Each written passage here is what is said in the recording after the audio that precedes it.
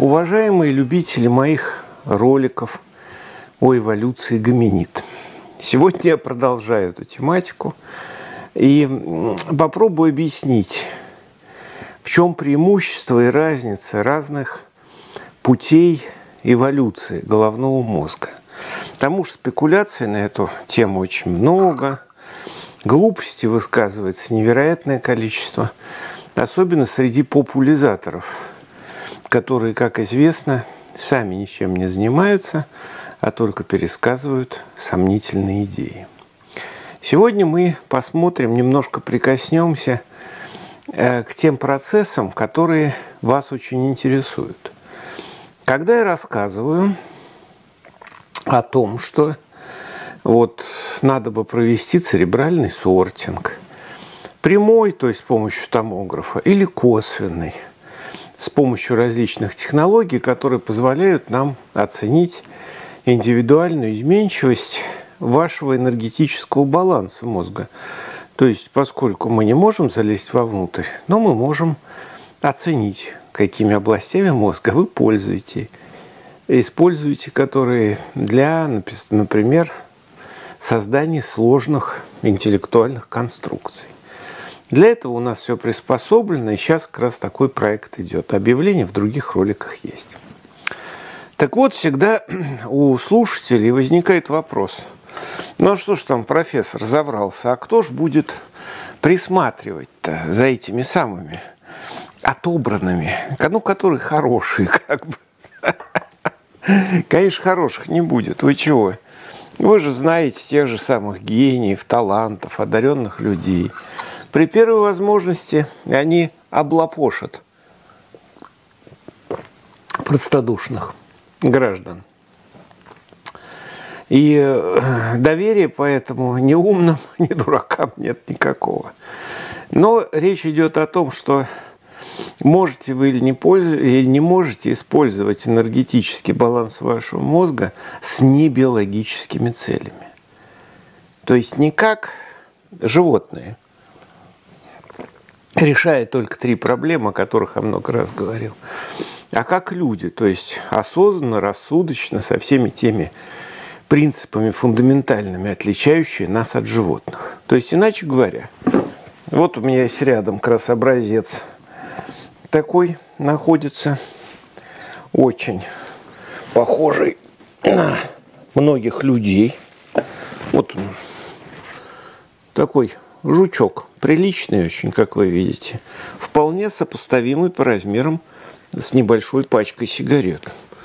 Вот у него нормально все в голове. У него грибовидные тела, набор инстинктов и простейшие механизмы биологической адаптации. Я его верну назад, поскольку это девочка, и она волнуется и ругается на меня. Так вот, если смотреть с позиции вот этих насекомых, то человечество устроено очень хорошо. Специальные норки для размножений, кормушки там, где выдают еду. Надо что-то делать немного за эту еду. Ну и полный комфорт. То есть с позиции жуков, которые, как я уже говорил в одном из интервью, в общем-то являются одними из самых успешных существ на этой планете, потому что большинство семейств жуков сохранилось с незапамятных времен лучше, чем какие бы то ни было другие животные на этой планете. То есть они такие победители до известной степени эволюционного отбора, найдя свою нишу и форму адаптации. У нас дело похуже. В чем же проблема? Мне задают вопрос. А вот этих мы отбираем умных, кто же ими, за ними будет следить, чтобы они не проворовались, не захулиганили, не погубили человечество, ну как, надеется тот же Билл Гейтс и Джордж Сорос. Как бы так вот надзор бы за ними устраивать? Ну, понятно, что в старые времена надзор устраивал кто? Господь Бог, ну, в зависимости от того, чей там, иудейский, мусульманский, христианский, там, синтаистский, буддийский и так далее, до бесконечности. Но, судя по результатам, все они присматривали из рук вон плохо. Потому что то, что мы имеем сейчас, говорит о том, что это не получается. Поэтому вопрос возникает такой, а как же, что же произойдет, если мы все-таки отберем для использования в социальной эволюции человечества тех, которые поумнее, то есть те, которые могут тратить собственную энергию мозга на то, чтобы добиваться общечеловеческих, а не личных результатов. То есть, иначе говоря, э, сейчас пока у нас происходит вот такая системка, у нас вот такие доминируют щелкунчики, которые занимались каннибализмом, то есть ели тех, кто вот там пониже, австралопитеков, а эти всякие крупные парантропы, которые, как видите, какие зубастики. Да вот они продержались миллион лет на самом-то деле, пожирая просто вон тех вон грацильных, то есть тоненьких, наших далеких предков. Так вот, эту ситуацию надо исправлять. Нам не годится ни этот вариант, ни тот, несмотря на их успешность. Нам нужен другой вариант. Те самые люди, которые могут управлять своими животными желаниями и ориентироваться на будущее человечества. Вот мы отобрали их. Дальше что? А дальше смотрите мои ролики. Например, про перколяцию. Это что такое? Это когда процесс происходит такой, что если добавлять, я приводил такой пример, черные и белые шарики в ящик, если добавлять белые, перетряхивать, в конце концов возникнет ситуация, когда полоски из этих шариков начнут касаться всех стен. Возникнет внутренняя инфраструктура. В биологических процессах, особенно в эмбриологии, которые к псевдогенетике которые очень любят детерминационные пути развития, никакого отношения не имеет. Это так, так называемый принцип самоорганизации. То есть, когда структуры возникают не потому, что у них есть жесткая программа, а такая программа, вот у нашей подруги есть, эта программа отличная, замечательная, давшая огромное эволюционное преимущество вообще всем жесткокрылым. И вот это Вместо этой программы у нас с вами есть адаптивная конструкция мозга, которая, собственно говоря, использует наше произвольное мышление, чтобы добиваться искомым результатом. Поэтому никакая программа, никакое законодательство в человеческой среде работать не будет – но это то же самое, как генетическая детерминация в головах слабоумных генетиков. Сейчас объясню. Что в чем дело-то? Представьте себе, что у вас 10 тысяч клеток, у всех есть программы, они точно по инструкции их реализуют в соответствии с своим геномом. Хорошо? Отлично. А если кто сдохнет из клеток? А это происходит на тысячу делений от 6 до 10 штук, гибнет – это что, выпадет целый кусок мозга или у вас не вырастет рука? Генетики об этом не задумываются. Потому что они дальше собственного носа не видят, это работают в основном с культурами клеток. То есть в морфогенезе такие штуки, как гибель клеток, компенсируются. Ровно то же самое. В процессах самоорганизации происходит с человеческим обществом. Ничего иного. У нас – Система самоорганизации заточена на то, чтобы ориентироваться на морфогенетический, а у нас на социальный результат. И вы его никак не получите, если вы запрограммируете с помощью револьверов и КГБшников, как это было в сталинские времена. Система контроля настолько сложна, что она уничтожит любую биологическую конструкцию. Поэтому если мы отберем умных, то дальше надо будет запускать механизмы самоорганизации, той самой, которая позволяет из раза в раз после незатейливых телодвижений соединиться сперматозоиду и яйцеклетки и появиться новому человечку. Вот это происходит по законам самоорганизации, а не с помощью принудительной программы комиссаров пыльных шлемов или слабоумных генетиков. Нет. Клетки в процессе развития все время гибнут, на их место приходят другие и начинают выполнять их функции. Это в геноме не записано. Гибель отдельных клеток не прописана точно так, как в человеческом обществе. Любой человек может там поскользнуться и попасть под трамвай.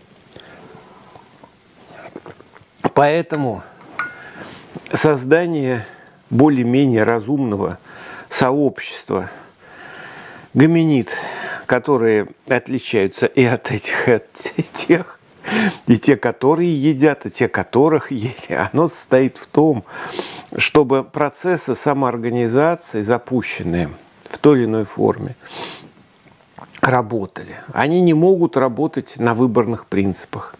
Понятно, потому что как вы только создадите иерархическую систему, то те, которые едят, тут же в нее залезут и будут есть всех остальных. То есть фундаментальные принципы совершенно иные. О них будет разговор, я об этом говорю во многих своих книжках, так, вскользь. Но фундаментальные принципы самоорганизации, они лежат в основе эволюции человечества. И эта самоорганизация является производным для отставных математиков, надеюсь, понятно? Производным от эволюции мозга, от искусственного отбора или то, что здесь описываю, называют церебральным сортингом. То есть, иначе говоря, у нас есть субстрат, то есть мозг, у нас есть механизм, искусственный отбор, у нас есть даже объективизация индивидуальных особенностей с помощью инвазивных и неинвазивных способов, то есть с томографом или по плодам деятельности, которую на сегодняшний момент вот мы уже начинаем анализировать. То есть есть субстрат, есть инструменты, есть самое главное пока еще люди, которых, из которых можно отбирать. Вот эти самые, которые могут участвовать в процессах самоорганизации, их очень немного – а тем более тех, кто могут организовывать эту самоорганизацию. И за ними не надо присматривать, потому что результат – это финальная форма или структура государства, общества, человеческих отношений, которые возникнут. По этой причине такого беспокойства нет, что надо создавать какого-нибудь всесильного небожителя для того, чтобы присматривать за теми, кто умеет пользоваться своим мозгом. Да, это непривычно, потому что все привыкли, что их строят с помощью палки и э, цепи. Но мы уже вышли из этого возраста, то есть мы можем как-то в лучшую сторону отличаться от жуков, как победителей эволюции на этой планете.